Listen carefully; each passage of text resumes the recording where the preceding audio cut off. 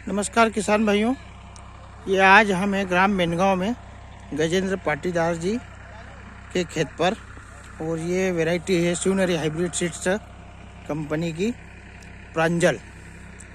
लगभग तीन से साढ़े तीन एकड़ में लगी हुई है गजन भाई के यहाँ, और आज की कंडीशन में आप प्लाट देख सकते हो।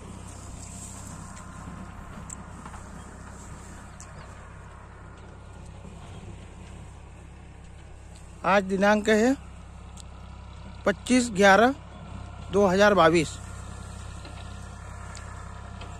ये है प्रांजल।